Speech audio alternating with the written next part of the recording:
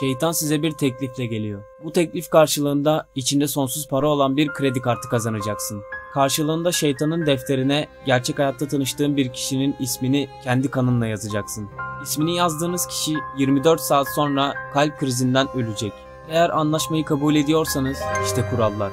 Kural 1. Şeytanla yapılan bu anlaşma cennete veya cehenneme gitmeniz konusunda etkili olmaz. Kural 2.